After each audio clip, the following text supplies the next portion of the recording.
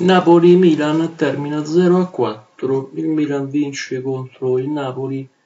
giocando fuori casa, quindi non nel nord Italia, ma proprio nello stadio ubicato in questa bellissima città, capoluogo della regione Campania.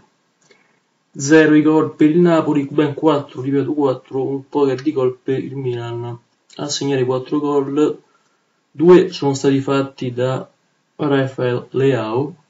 uno nel primo tempo, un altro nel secondo, e poi a firma di Brahim Diaz sempre nel primo tempo, ed infine l'ultimo, ma non per questo di minore importanza, nel secondo tempo a firma di Alexis Saremakers. Una partita che si gioca tutta in prevalenza da parte del Milan nei confronti del Napoli che restando quasi in un angolo chiuso nei suoi paradigmi o meglio chiuso nelle sue difficoltà non riesce a sbloccare il risultato e quindi rimane senza fare neanche un gol. Il piglio giusto lo trova il Milan che devo dire che in, questo, in questa eh, Serie A e in questa classifica non è che sta facendo benissimo però se la sta abbastanza cavando secondo la mia opinione, secondo il mio punto di vista.